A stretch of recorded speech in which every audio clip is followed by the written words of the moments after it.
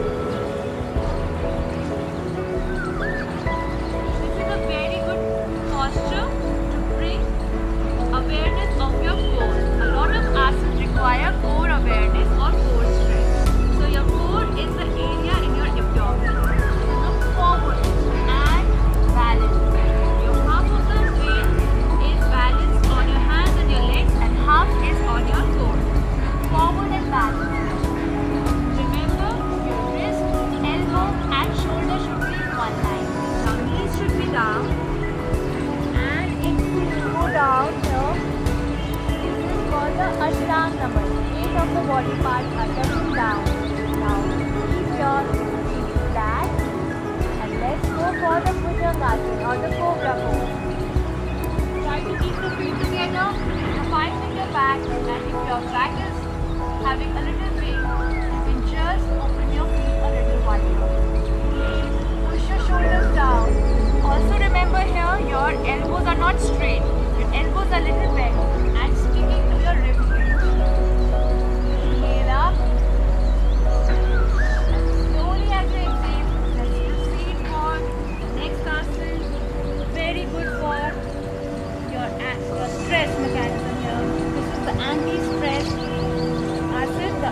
the Adho Mukha asana or the downward facing dog.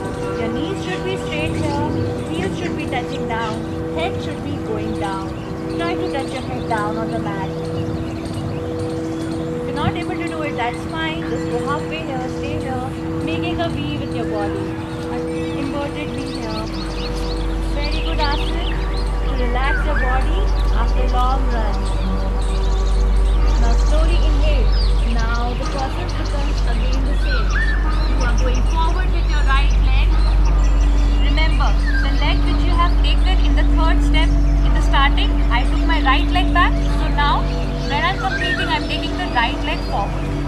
So, right leg goes forward, forward, again coming in Ashwasanchalan, and then exhaling, taking your left leg forward. Again in Padmasana, inhaling, going up. And then making a namaste in front of your chest. This is the final position, the Namaskar Mudra. All these 12 asanas of your Surya Namaskar are very good to tone your whole body, bring that whole agility to your whole body, flexibility and strength. So do them every day. Try to do 5 Surya Namaskar every day from each side, right and left. And also keep on increasing increasing them as you become comfortable in them. Happy practicing and stay tuned on my YouTube channel. Do subscribe it. It's called Yoga with Akanksha and also follow me on Instagram that is at the rate underscore the Indian Yogi.